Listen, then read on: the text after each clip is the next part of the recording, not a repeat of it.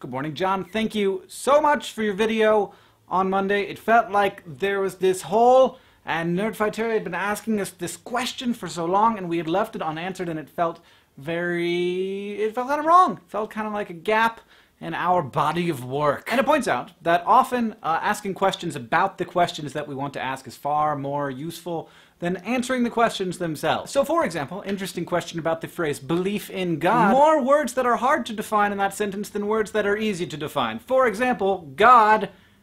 Even people who go to the same church, ostensibly believe in the same God, all have different visions of what God is in their head. Everyone is always going to have a slightly different perception of what that thing he, she, it is. But at the same time, it's a very particular thing to each particular person. And then you have the word belief. Interestingly, uh, the question of what the difference between belief and knowledge is, is not just a philosophical question, it is an entire branch of philosophy called epistemology. So obviously, uh, not something to cover in a video blog, but the longest running definition is that knowledge is belief that is true. Which is kind of strange to get your head around, which is why there's an entire branch of philosophy uh, concerning it. When we believe something, we accept that there is a chance that it's not true, but we have faith nonetheless that it is true. Like, it's weird to talk about having faith in things that you know. Like, I know that this water is not going to poison me if I drink it. Whereas if I say that I have faith that this water will not kill me if I drink it, now I'm not so sure I'm going to drink it. But what really bugs me about the question, do you believe in God, is not that there are many more interesting questions surrounding that question, like why do we ask it and what does believe mean, is the motivation behind asking that question. So people who have asked that question to me or to other people, I'm just curious, why do you want to know? Because it seems like there's only, really only two reasons to want to know the answer to that question. One,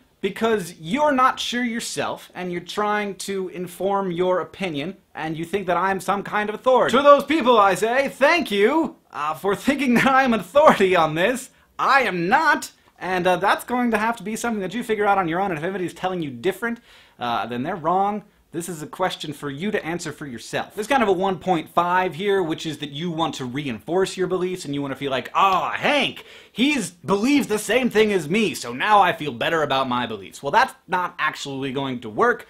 Uh, for you. You have to feel good about your beliefs for your own sake. So basically, 1 and 1.5, I'm not going to help you with that uh, you gotta have to figure it out on, on your own. And the second reason to ask uh, if someone is uh, believes in God is kind of as a shortcut to think that you know more about that person because of a, a very simple answer, which is dangerous. This is the kind of pattern recognition that we do constantly as people. We try to categorize things, and that's usually really useful until you start dealing with people. Sometimes I feel like when someone asks me if I believe in God, it's like a blind person asking if I'm black so that they can put me in the right category. People are constantly searching for little things that they can use as markers to identify how and what people are. Like, gay people are all like this, Christians are all like this, atheists are all like this, and that is, I mean, duh, that's really dangerous. And so that's my biggest fear. It's that people are asking because they want to uh, inform their opinions of me with this little one word answer that says so very little about who I actually am. After you've formed a strong opinion of who I am and understand how I live my life, that's when I'll be comfortable telling you